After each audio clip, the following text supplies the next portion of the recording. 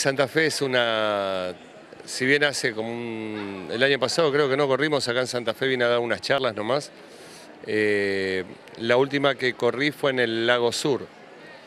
Y acá en la Costanera, bueno, es un circuito un poquito más complicado, pero es muy entretenido. ¿En qué varía, digo, el, tema del circuito, lo que es del sur a la Costanera?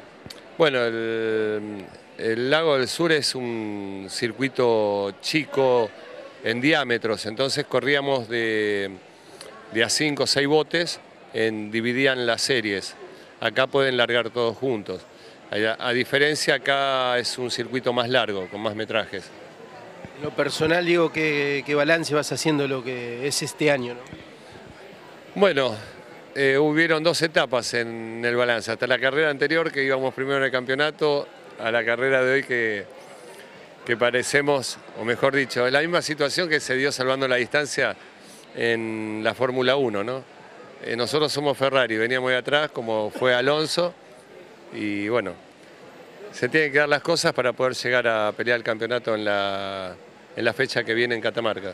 Y las expectativas, ¿cómo, cómo avisorás más allá de que obviamente la, la chance y la, la mentalidad tan ganadora, ¿no? Y mira, yo considero que en equipo, no, salvando las distancias por supuesto, pero me siento un Ferrari, así que eh, mañana las fichas están puestas para, para clasificar bien, para tener una buena serie y para ir bien posicionado para el domingo a, a la final.